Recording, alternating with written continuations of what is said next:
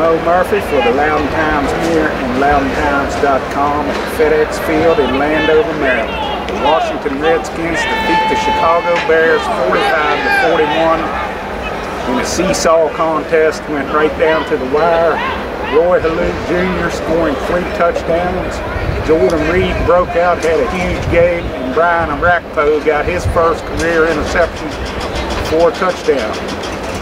Let's head on into the Redskins locker room and get some comments. This is Moe Murphy from the Loudoun Times Mirror and LoudounTimes.com climb back in the game.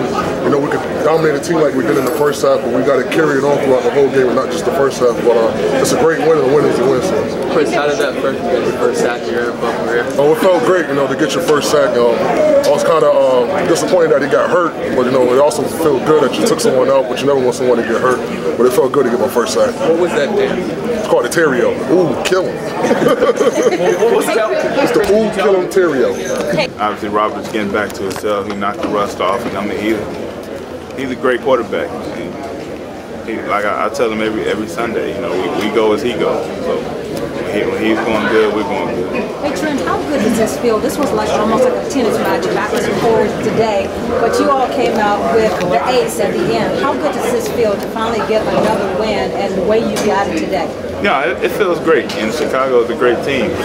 You know, very very good defense, and um, you know, we, we, was able to keep them off guard and make a lot of plays. And, you know, fortunately, we came out with seven at the end instead of kicking the field goal. And, that's a huge win. For How good did that feel? I mean, you hadn't had your number called in a little while. You know, just waiting and waiting for your opportunity. Oh, it felt good. You know, ever since that Detroit game, I've been wanting another chance. You know, to my teammates and to fans and everybody out there. I make plays and that ball get my way. When that, you got bumped, uh, I guess before the ball even came down. Yeah. Did that kind of throw you off a little bit? No, no, it, it, it, I felt the bump. You know, it, should have been three.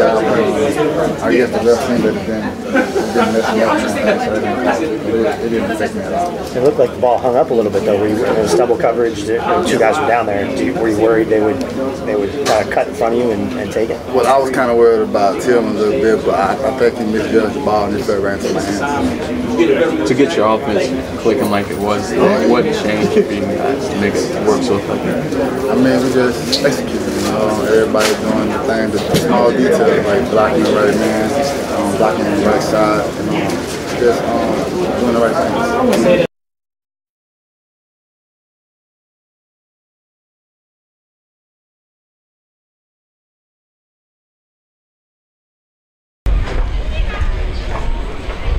We came to eat your food. Hey. How are you guys? Hey, buddy. What's up, guys?